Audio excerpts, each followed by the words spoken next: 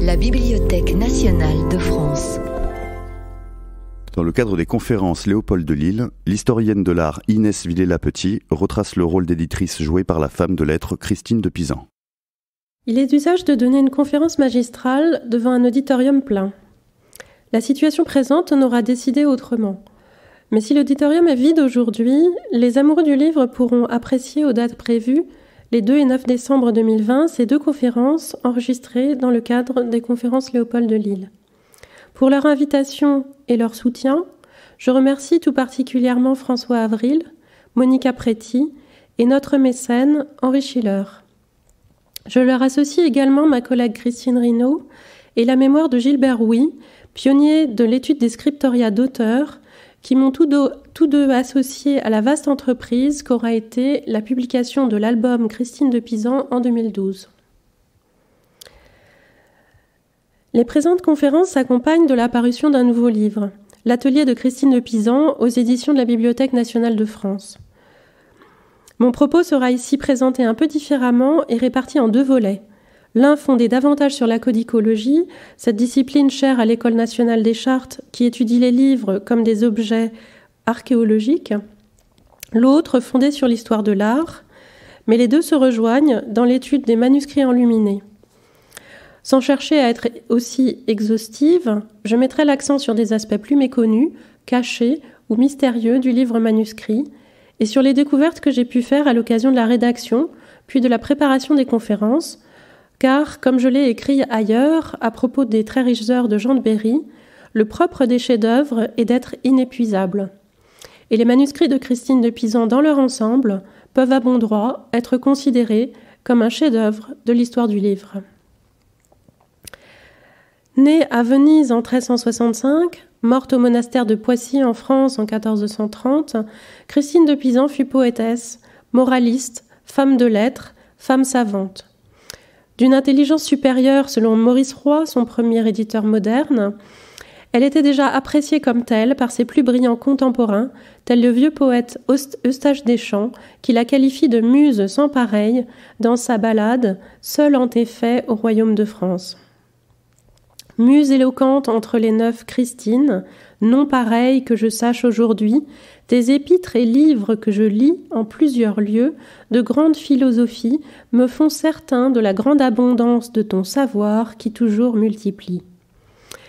Personnage singulier, féministe avant la lettre, conseillère des princes, prince, femme engagée, elle se distingue aussi parmi les auteurs du Moyen Âge par le nombre exceptionnel des manuscrits d'époque qui ont survécu de ses œuvres, sans compter les copies ultérieures et les éditions incunables.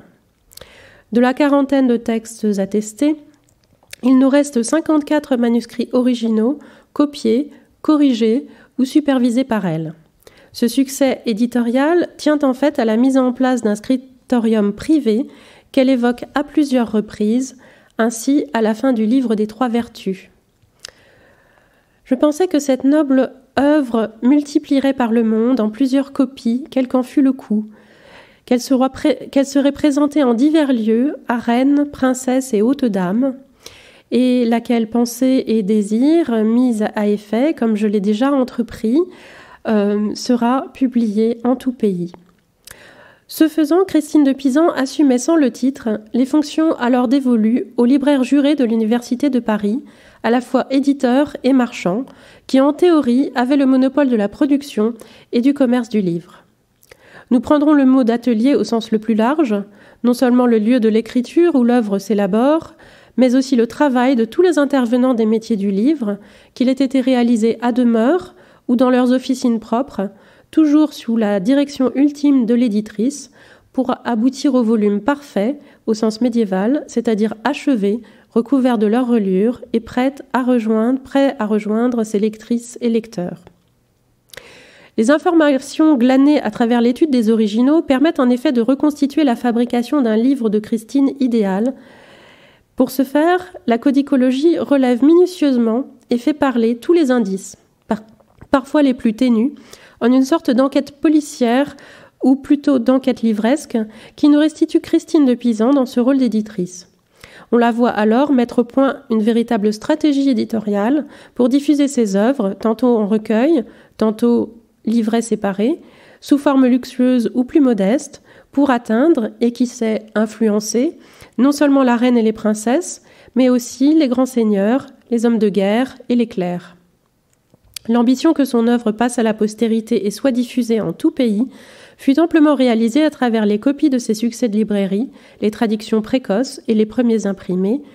Ici, euh, une copie euh, des Trois Vertus enluminée à Bruges vers 1475 et en regard un imprimé euh, par Vérard de 1497. Les, indices que l'on va trouver comme stratifiés dans les livres sont de deux ordres et de deux temps. Marques de fabrication et marques d'usage.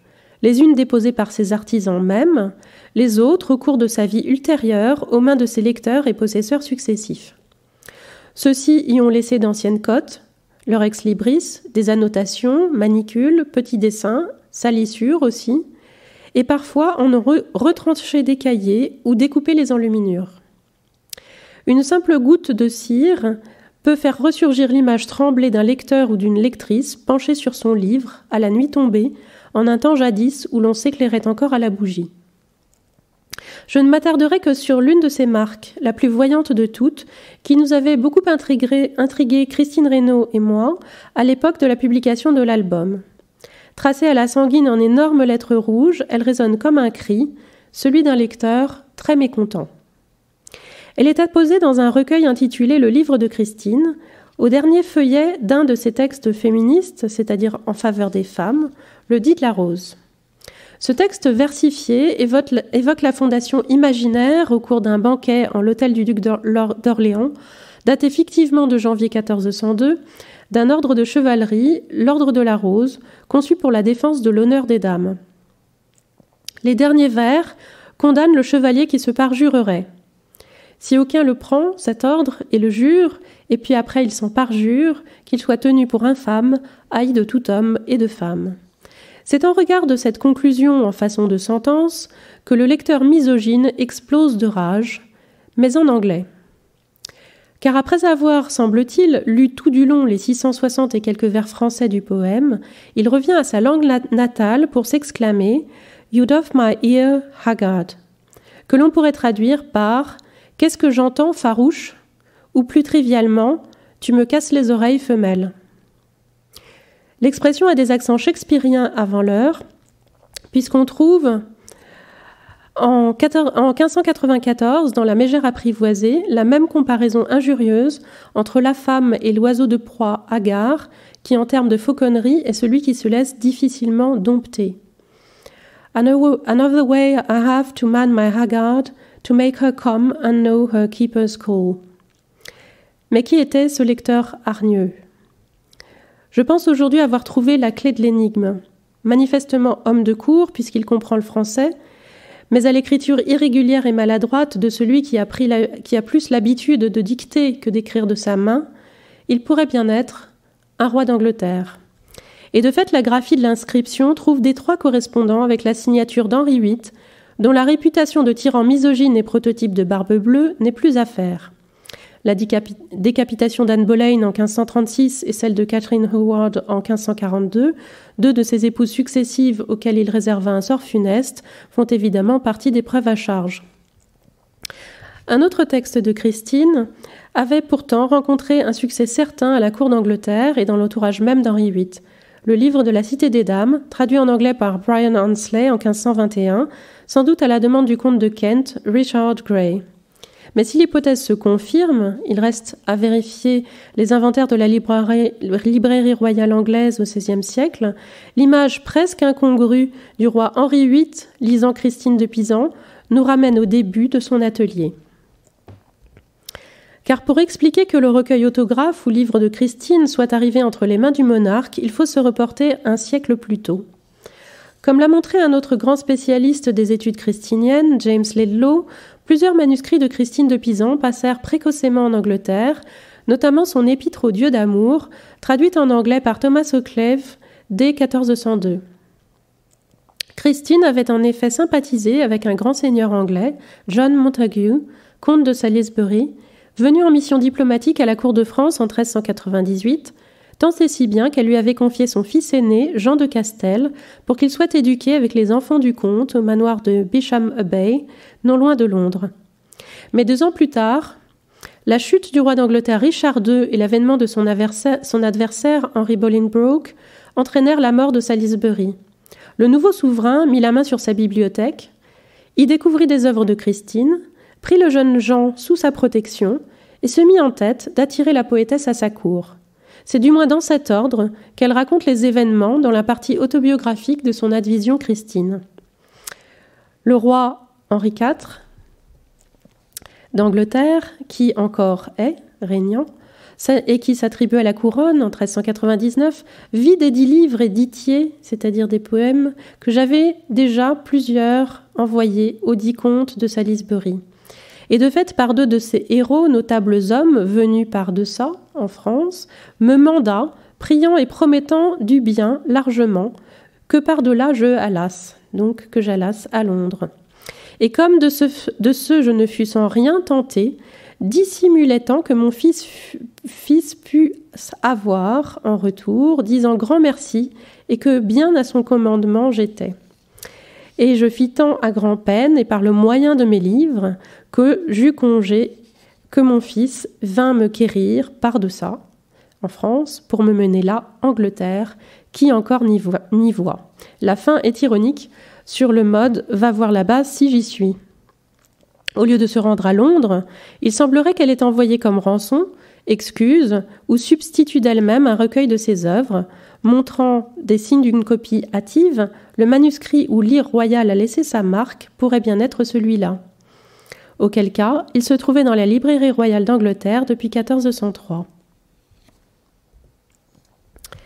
Christine et ses livres, Christine de Pisan, éditrice de ses textes, si abondants en évocation du livre et du dit, l'œuvre rimée, que le lecteur est non seulement invité à entendre, mais aussi à voir en sa forme matérielle, oyez et voyez, ainsi dans le débat de deux amants. Et pour ce prince excellent, de moi pourtant, si j'ai désir que j'ai désir que voyez un petit dit lequel est rimoyé. Les aspects du livre font écho au texte et corroborent ce souci de faire le livre. Souvent cité un passage de l'Advision Christine la montre faisant le compte à la fois de ses œuvres, une quinzaine à l'époque sans compter les petits poèmes, et du nombre de cahiers de parchemin qu'elle représentait déjà. Depuis l'an 1399 que je commençais, jusqu'à cet an 1405 auquel je ne cesse pas, j'ai compilé en tout 15 volumes principaux, sans les autres particuliers petits ditiers, les poèmes, lesquels tout ensemble contiennent environ 70 cahiers de grand volume. Le compte est exact si on considère le recueil de Chantilly, en deux volumes, dont le caractère cumulatif montre qu'il était son manuscrit d'auteur, dans lequel elle consignait ses nouvelles œuvres au fur et à mesure. En 1405, il comptait 55 cahiers. Pour compléter le compte, il faut ajouter les 15 cahiers des faits et bonnes mœurs du sage roi Charles V, une œuvre de commande achevée en 1404. La Cité des Dames viendra après. Christine reste donc modeste dans cette affirmation qui ne tient pas compte des copies qu'elle offrait. Le corpus des manuscrits autographes permet de saisir les étapes de sa création livresque depuis le moment même où la pensée à fleurs, jetée sur le papier d'une écriture pressée. Les modestes brouillons raturés d'un auteur, qui précède une œuvre nouvelle dans la forme aboutie du livre, sont rarement conservés. Mais grâce aux zèle des chanoines érudits de l'abbaye Saint-Victor de Paris, Simon de Plumetot et Guillaume Tuisselet, qui ont rassemblé au milieu du XVe siècle des écrits de lettrés des décennies précédentes, un brouillon de Christine de Pisan nous est parvenu.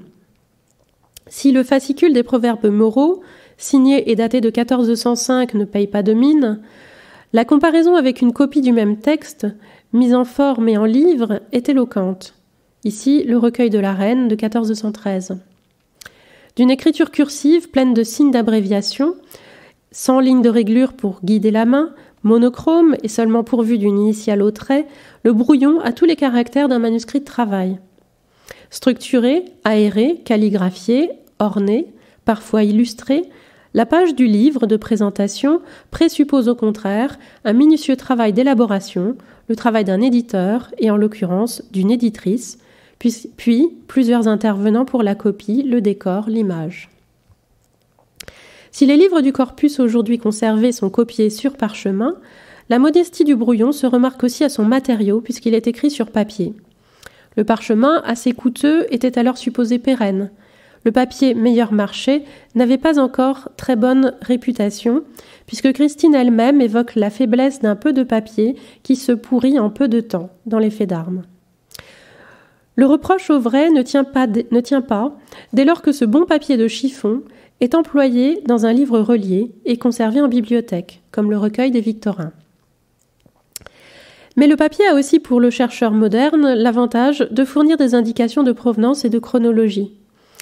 La même page des proverbes, sous un autre éclairage, révèle le filigrane du papetier, c'est-à-dire l'empreinte laissée dans la pâte à papier par un fil métallique formant la marque du fabricant, fixée au fil tendu de la forme. La lettre P surmontée d'une croix, prise dans la, pliure du feuillet, est probablement celle d'un moulin actif entre 1380 et 1430 à Troyes en Champagne, dont venaient les principaux marchands papetiers sur la place de Paris, tels Barthélemy Récent et Pierre le Camus, cités en 1415. Si ce n'est l'initiale même du fabricant, cette lettre crucigère, qui a suscité toutes sortes d'hypothèses assez farfelues, pourrait se rapporter simplement à Saint Pierre, patron de la cathédrale de Troyes, de même que les papiers italiens d'Émilie-Romagne, marqués de cette même lettre, dans une, forme un peu différente, se plaçaient sans doute sous l'invocation du saint patron de Bologne, San Petronio. L'autre filigrane qui apparaît dans le papier d'un manuscrit de Christine, une encre de marine, attribut de Saint Clément, semble également sortir d'un moulin troyen, actif à partir de 1390 sur plusieurs décennies. Ce petit fascicule intégré dans le recueil victorin, est l'unique manuscrit connu de la Lamentation Christine de Pisan, ou Lamentation sur les mots de la France, une épître adressée au duc de Berry en août 1410. Il s'agit soit d'un exemplaire, c'est-à-dire un modèle pour la copie d'autres exemplaires, soit de l'épître telle qu'elle fut envoyée, puisque le texte en est calligraphié, signé et daté. D'autres copies ont cependant dû exister, telles les deux épîtres que Christine fit quand nos seigneurs étaient devant Bicêtre, mentionnées dans la bibliothèque de Guichard Dauphin, maître de l'hôtel du roi. Coalisés autour de Charles d'Orléans et Jean de Berry en avril 1410 dans la Ligue de Gien, les seigneurs du parti Armagnac avaient en effet rassemblé leurs troupes l'été suivant devant, le château de Bicêtre. La guerre civile commençait. Dans ces circonstances tragiques, alors que les environs de Paris étaient livrés au pillage, Christine en appelle à la raison des princes.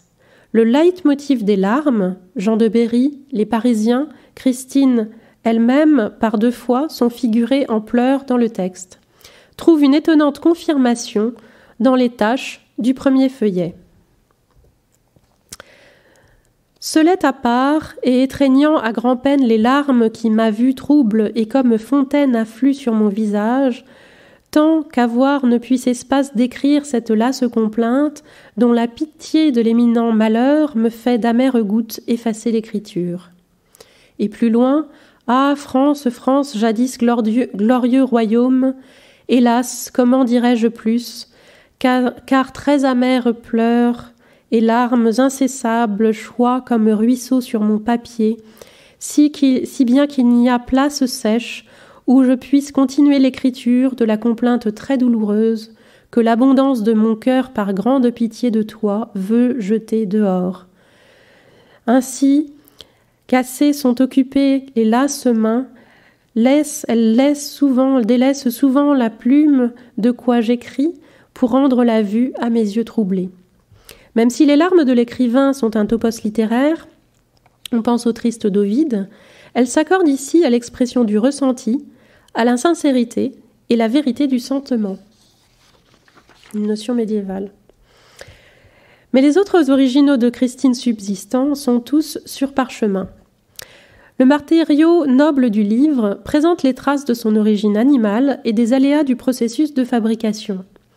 Le gabarit des feuilles de parchemin exploite au mieux la surface irrégulière de la peau de mouton, gabarit de 60 par 80 cm, soit au maximum un feuillet donc plié de 30 par 40 comme dans les grandes heures de Jean de Berry.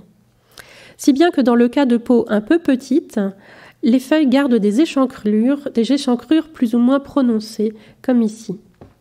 Le premier exemplaire de l'Épitrophéa, à droite, et une copie des faits et bonnes mœurs du sage roi Charles V, à gauche, en offre des exemples nets. Certaines pages présentent de curieux dessins qui pourraient passer au premier abord pour des griffonnages, mais sont pris dans le parchemin. Il s'agit de marques de parcheminier, il n'en existe toutefois aucun relevé systématique qui soit équivalent au répertoire des filigranes du papier. Il est vrai que seule la première feuille d'une liasse ou botte devait être marquée, ce qui rend leur présence assez exceptionnelle, mais d'autant plus si on ne les relève pas. Qu'en dire de plus? Le fait qu'une même marque formée de hachures et deux ronds se rencontre sur quelques feuillets, feuillets des quatre premiers manuscrits de la mutation de fortune corrobore et confirme une réalisation simultanée des quatre, qui correspond au moment où, à partir de 1403-1404, l'atelier de Christine se met à produire les manuscrits de ses textes en nombre, euh, et en particulier 4 par 4. Ces exemplaires, on peut euh, en faire le décompte en fait, ont nécessité exactement l'emploi de 10 bottes de parchemin, soit 360 pots. Le processus de fabrication du parchemin produit, ici les marques en question. Le processus de fabrication du parchemin produit des déchirures et des trous dans les peaux tendus sur cadre. Les premières sont recousues par le parcheminier, ce qui laisse une couture ou un piqueté de trous lorsque le fil a été retiré lors du ponçage de la feuille. Ces accidents affectent surtout le pourtour des pages, et le copiste évite en général de choisir une feuille ainsi reprise comme page frontispice, ou pour les pages illustrées de miniatures. Mais il y a des exceptions. Peut-être même des exceptions délibérées si l'on en croit la couture sans fil d'une page de l'Épitrophéa consacrée au mythe d'Arachné dans le recueil destiné à Louis d'Orléans. La jeune femme qui tisse une toile sur son métier de basse-lisse sera transformé en araignée par la déesse Athéna. Dans le ciel, au-dessus, couture de parcheminier et toile d'araignée se font face, même si l'enlumineur n'a pas davantage exploité la première. Vous avez ici euh, le détail en fait de cette couture et juste au-dessus euh, le revers euh, du feuillet en fait et un autre manuscrit présente encore le fil de couture. Quant au trou du parchemin, il pouvait être comblé par des collures ou pièces de parchemin collées avec un peu de gomme de cerisier, suivant un procédé assez simple et manifestement efficace puisque la plupart de ces patchs ont tenu. Certaines collures précèdent le texte et pourraient être l'œuvre du parcheminier, telles euh, l'énorme euh, en fait, patch qu'on aperçoit euh, sur un feuillet du débat de deux amants vers 1401-1402, dont le parchemin est d'ailleurs assez médiocre, et bien qu'il soit sans doute un exemplaire euh, de dédicace à Louis d'Orléans, ce qui montre l'atelier de Christine à ses débuts. D'autres, toutefois, n'avaient pas été comblés lors de la copie du texte, et ne le furent qu'a posteriori, en particulier dans le manuscrit de la reine. Il s'agit là des signes qui permettent de dire que ce recueil, composé à la hâte, pour être offert à Isabelle de Bavière le 1er janvier 1414, intègre des manuscrits antérieurs et plus précisément des exemplaires que Christine avait gardés par-devers elle. C'est le cas des cahiers contenant les proverbes boraux de 1405 et les enseignements de Christine à son fils de 1398, dont le texte contournait à l'origine un grand vide, comblé et partiellement réécrit pour que le manuscrit soit plus présentable. Et on voit en fait qu'une une strophe avait été écrite euh, décalée et donc euh, alors que le, trou en fait était, euh, encore présent. Sandrine Mann avait déjà relevé un processus équivalent dans les cahiers de l'Épître qui, pour être mis au format des autres textes du recueil de la Reine, ont été rallongés par des languettes de parchemin. Le procédé a été si bien mis en œuvre que les bordures augmentées peuvent passer inaperçues.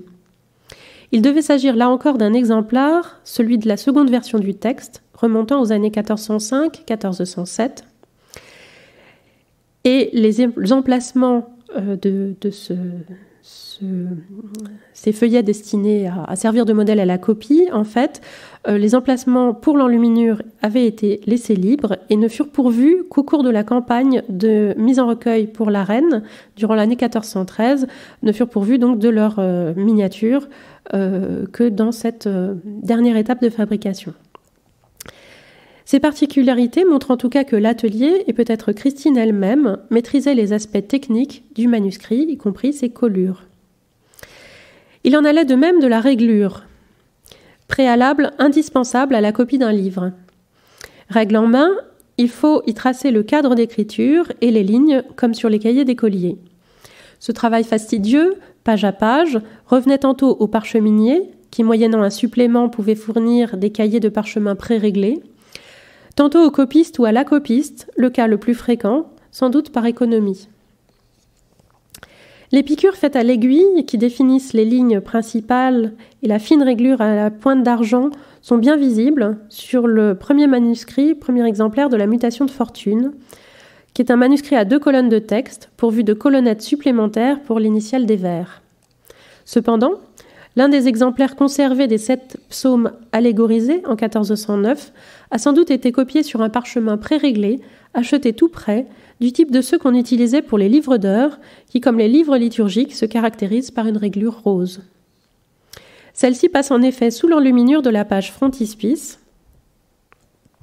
et reste en partie visible par transparence, sous les pigments, ce qui est d'ailleurs courant dans les livres d'heures parisiens de l'époque.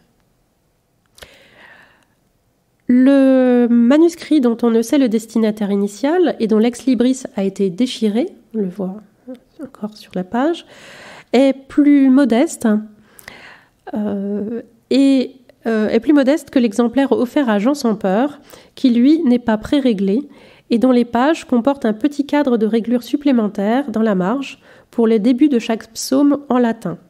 Ce n'est pas là une réglure standard et par conséquent, il faut en attribuer le travail à l'atelier de Christine ou à elle-même. En outre, ce manuscrit est écrit en lettres de forme.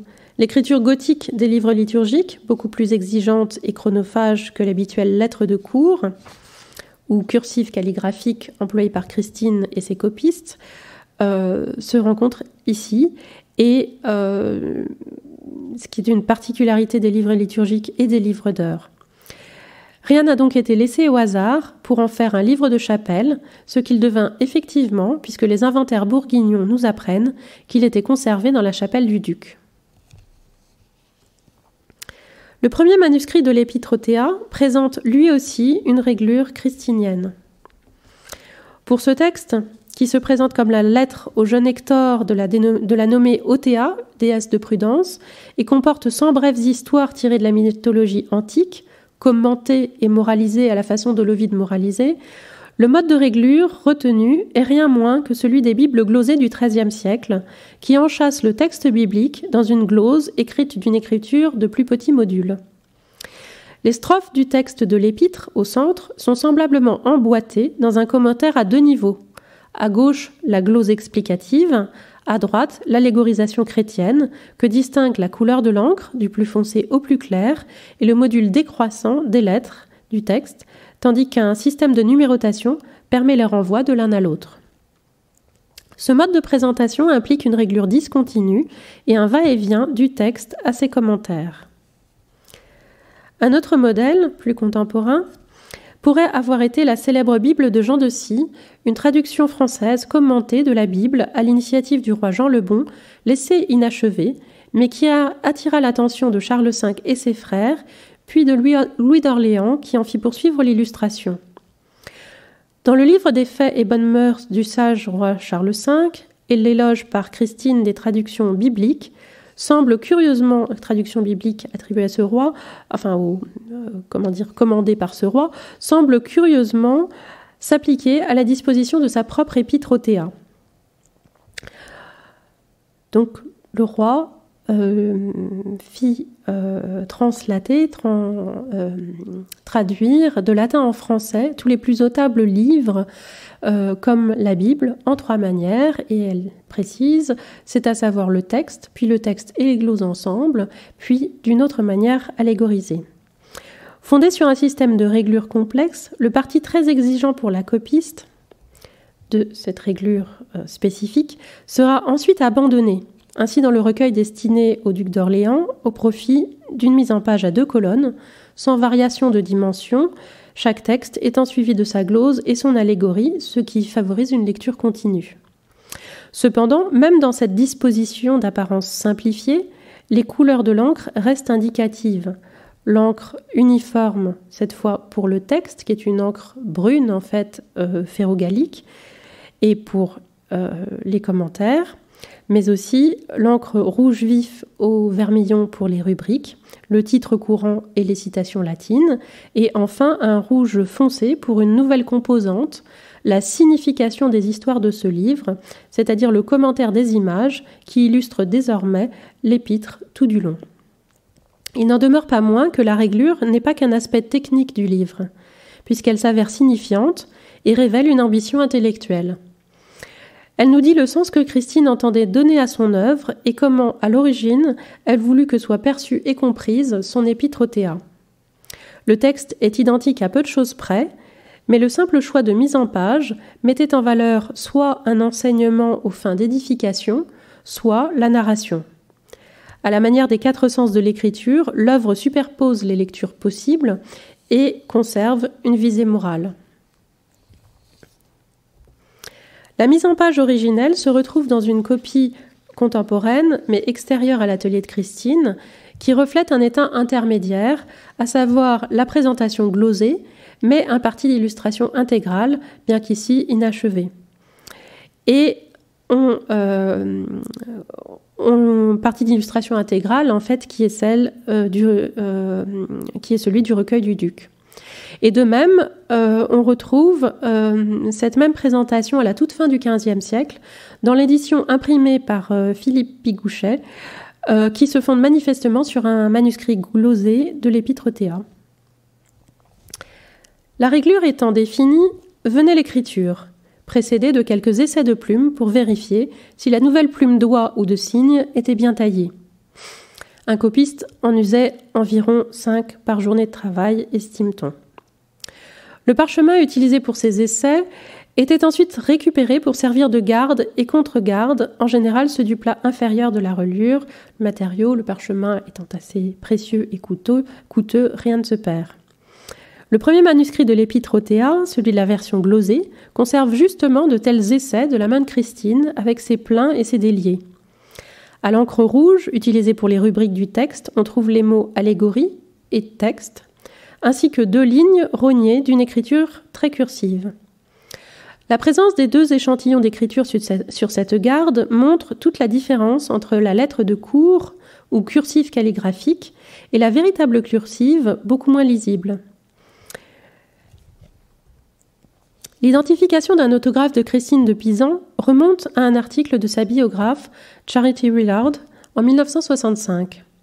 Celle-ci se fondait sur une dédicace ajoutée à un exemplaire de l'Épître à la Reine, dans la même écriture, qui dit Prenez en gré, s'il vous plaît, cet écrit de ma main, fait après minuit une heure. Noble Seigneur pour qui je l'ai écrit, prenez en gré, quand vous plaira, mieux vous sera réécrit, mais je n'avais nul autre clair à l'heure, prenez en gré, s'il vous plaît. Depuis, les indices concordants se sont accumulés, permettant à Gilbert Huy et Christine Rino de délimiter un corpus de manuscrits autographes auxquels ont été joints ceux d'autres scribes, relus et corrigés par Christine de Pisan en une écriture plus cursive, les interventions les plus significatives étant bien sûr les corrections d'auteurs qui modifient le texte. Son écriture élégante et régulière s'orne souvent de lancers de plumes, de cadelures, de lettres enrubannées, ainsi dans le premier manuscrit de la mutation de fortune. Polynice, la fille aînée, ou euh, la fille euh, aînée de Polynice, avait nom Antigone, et l'autre Ismène au clair visage, qui puis, depuis, fut reine moult sage. Certaines initiales y sont agrémentées de dessins et grotesques, un amusement de copiste, ainsi un M poisson décoré de fleurettes, ou un S en façon d'animal fantastique à dents pointues. Ce type d'ornement du texte n'est pas si courant et révèle une autre facette de Christine de Pisan, son humour. Ces fantaisies se donnent en effet libre cours dans des textes à sujet profane ou plus autobiographiques, comme La Mutation, alors qu'elles sont réfrénées dans des œuvres de piété, comme les sept psaumes, comme si Christine gardait à l'esprit une certaine idée de convenance. Cependant, dans La Mutation, dont on sait la copie terminée en 1403, Plusieurs des lettres ornées comportent aussi de petites inscriptions cursives qui n'ont rien à voir avec le texte et dont les déclarations d'amour intriguent, d'autant plus que le volume fut offert à Philippe le Hardy. Le vieux duc de Bourgogne ne paraît pas le destinateur premier de Mon cœur avait, vous avez mon cœur, assorti à un ruban détouré sur fond d'encre. Ou bien de la même formule écrite en rébus, avec deux cœurs, deux cœurs liés. L'abondance des doubles cœurs qui ponctuent le manuscrit laisse supposer une autre intention, un présent courtois dont l'histoire nous échappe, la dédicace originelle et certaines inscriptions ayant été soigneusement grattées ou peut-être cachées par de nouveaux dessins.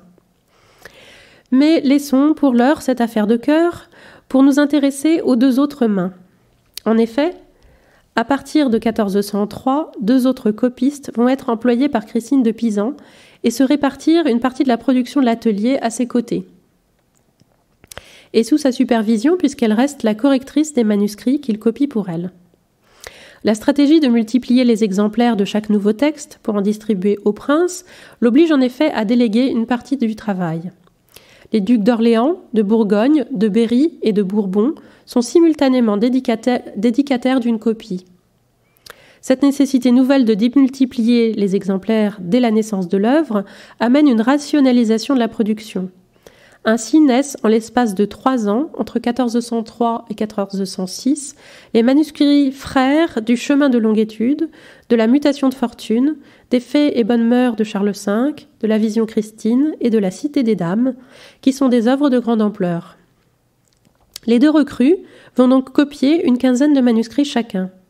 Leurs graphies respectives sont plus apparentes à travers la comparaison d'un même texte. Par exemple, trois exemplaires du chemin de longue étude de 1403, dont voici un extrait dans lequel Christine se remémore la perte de son époux, Étienne de Castel, donc mort en 1390.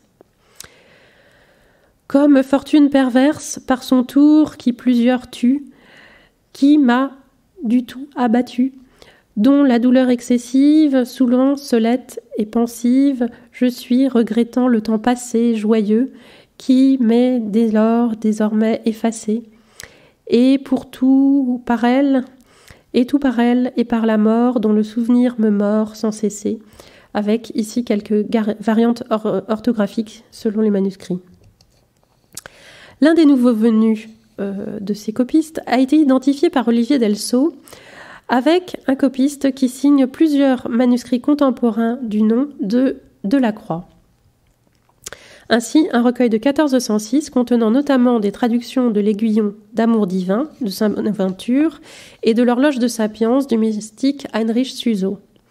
Le Saint, Manuel qui accompagne la signature du copiste, petit dessin en usage chez les notaires qui vont marque personnelle et professionnelle, se retrouve d'ailleurs à la suite de certaines réclames de manuscrits qu'il copie pour Christine de Pisan, comme ici euh, une réclame de la vision Christine. Peut-être était-il clerc notaire juré au Châtelet, c'est-à-dire l'un des 60 notaires royaux de Paris. Il devait être aussi apparenté au copiste André de la Croix, attesté en 1399 au service de la reine Isabelle de Bavière. Quant à l'autre copiste, en charge en particulier des exemplaires de la Cité des Dames, on estimait déjà qu'il avait dû se former auprès de Christine de Pisan, le qualifiant même de bras droit de l'atelier. Tirant les conclusions logiques de ces remarques et de la chronologie, j'ai proposé dans le livre qui accompagne la présente conférence d'identifier ce copiste au propre fils de Christine, Jean de Castel, alors tout juste revenu d'Angleterre, lorsque sa main apparaît dans le chemin. Restait à vérifier l'hypothèse. Or, il se trouve que nous avons des échantillons de l'écriture de Jean de Castel dans les registres de chancellerie, puisqu'il obtint une charge de notaire secrétaire du roi en novembre 1409. Un acte de janvier 1410, copié dans le registre par le jeune notaire secrétaire qui signe Castel, fera l'affaire. Cependant, la cursive des minutes est difficilement comparable avec les écritures livresques, et c'est donc avec des vestiges de notes cursives qu'il faut faire la comparaison, telle une préparation de rubrique faite dans la marge d'un manuscrit de la Cité des Dames au moment de la copie du texte, pour ne plus avoir à recourir à l'exemplaire lors de la rubrication, euh, sans doute. Je cite donc cette rubrique et cette préparation de rubrique de la reine Pentésilée et comment elle alla au secours de Troie, 19, qui est le numéro du chapitre. L'activité du copiste débutant, assez maladroit en 1403, il n'avait pas 20 ans, s'inscrit précisément dans le laps de temps où il n'avait pas encore de situation, où il n'a pas encore de situation et se trouvait donc à la charge de sa mère. De plus, Olivier Delceau a identifié sa main dans un volume des Chroniques de Froissart, dont les armoiries ont été repeintes, mais qui a conservé les harpies tenant l'écu. Divinités antiques de la vengeance, ces harpies au corps d'oiseau et tête de femme ont récemment été identifiées par Laurent Hablot comme une devise de Charles d'Orléans après l'assassinat de son père en 1407. Le fait que le copiste se trouve au service du duc d'Orléans au moment de la guerre civile s'accorde aussi avec ce que l'on sait des sentiments politiques de Jean de Castel. S'il n'est pas amateur de grotesque, comme Christine, il a toutefois laissé dans une réclame d'un exemplaire de la Cité des Dames, copié vers 1407, un visage dessiné, caricature ou peut-être autoportrait qui pense à sa belle amie, qui est le, les mots de la réclame. L'atelier de Christine de Pisan était donc en partie familial. Mais devant son public et les princes, dont elle était l'interlocuteur direct ou l'interlocutrice directe, ces manuscrits restaient considérés comme des livres de Christine. Ainsi, le recueil destiné à Louis d'Orléans, dont Delacroix et Castel se sont partagés, le supposé Castel se sont partagés la copie, est-il donné pour fait et composé par Damoiselle Christine de Pisan dans l'inventaire de la librairie de Jean de Berry. Elle apparaît donc bien dans un rôle d'auteur-éditeur. L'étude codicologique nous révèle donc un contexte social, économique, politique, dans lequel s'inscrit l'objet livre avec ses fournisseurs, associés, sous-traitants, commanditaires et dédicataires, tels ici le roi Charles VI, représenté avec la devise du loup de Louis d'Orléans, brodée sur sa manche dans le recueil destiné au duc. Le roi de Charles VI, donc euh, qui était euh, dédicataire premier du livre du chemin de longue étude. Le grand livre que lui présente Christine a une couverture orangée, deux lanières noires et quatre boulons, les livres étant alors euh, rangés à plat. Si les couleurs de l'enluminure ne reflètent pas nécessairement la réalité du livre, la prévalence du rouge s'accorde bien avec les mentions des livres de Christine dans les inventaires princiers, presque invariablement couverts de cuir vermeil emprunt, ou couverts de cuir rouge marqueté. D'autres mentions permettent de préciser ainsi un roman arthurien couvert d'un cuir vermeil et empreint de plusieurs fers, ou encore le livre d'heures de la reine, relié et couverte à empreinte de batelettes. La découverte par Gilbert Rouy, sous la couvrure de velours bleu d'un exemplaire inachevé du chemin de longue étude, d'une reliure de cuir rouge décorée de petits fers, et l'identification du manuscrit dans les inventaires de 1417 et 1440 de la librairie de Charles d'Orléans, où il est donné pour couvert de cuir rouge marqueté à deux fermoirs de cuivre, a été décisive. Mais ces implications n'en ont sans doute pas été suffisamment tirées pour l'histoire de la reliure, qui ignore encore à peu près tout des reliures de cuir du début du XVe siècle. Comme l'étaient sans doute les heures de la reine, le veau rougeâtre des plats est entièrement recouvert d'un décor animalier estampé à froid, formée par un emboîtement de cadres qui alterne les filets tracés au peigne et les frises de petits fers avec une préférence marquée pour les bételettes. Lion, lion héraldique, cerf de format rectangulaire, petit aigle bicéphale, mais aussi cœur marqué d'une croix euh, sur un fer de format carré. La partie centrale est composée avec des fers de plus petite dimension et les deux plats présentent les frises dans le même ordre. Or, le jeu de fer a des correspondants dans les reliures de deux autres manuscrits originaux de Christine de Pisan, qui jusqu'ici étaient attribués à tort à Vincent Gohon, relieur à Lille à la fin du XVe siècle. Gohon est connu pour euh, signer la plupart de ses reliures avec un fer spécifique à son nom. Certes, il y a une continuité au long du siècle dans le vocabulaire de petits fers et peignes, mais l'esthétique n'a plus rien à voir. On est passé de l'horreur du vide, qui va jusqu'à faire se chevaucher l'impression des fers pour ne laisser aucun espace découvert, à une mise en page aérée qui juxtapose plage de cuir lisse marquée d'une croix de Saint-André et bords estampés. Le nombre des fers est plus réduit et sans bête, lisse florentin, fleurs avec tiges et fleurettes. En revanche, la reliure d'un volume du corps de policier de 1406-1407 présente, outre le petit aigle impérial commun avec le chemin de longue étude, le même type de décor saturé de bêtes. Agneau de Dieu en carré, oiseau adossé à un fleuron, cerf de format carré, etc. Cette reliure fait le lien avec un troisième manuscrit christinien, un exemplaire du livre de paix de 1414, qui partage avec elle un petit fer au pélican nourrissant ses petits dans un cercle. Petit dragon, fleur de lys, pélican dans un carré, agneau de Dieu en cercle et grand lys dans un carré cantonné de lys pour la frise extérieure complètent le jeu. Hum.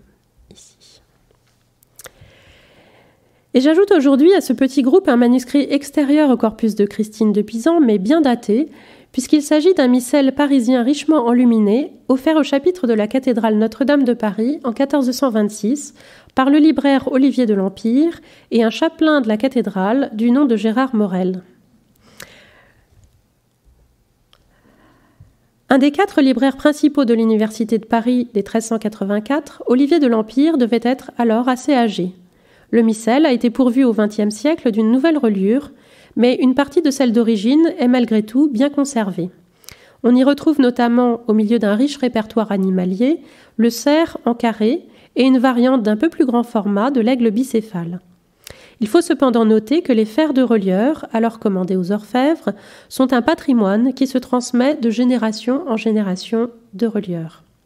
Aussi n'est-il pas surprenant de retrouver l'empreinte de certains de ces fers, tel le grand lys cantonné de lys, sur la reliure des heures de Jacques de Luxembourg vers le milieu du XVe siècle, et d'autres plus tard encore.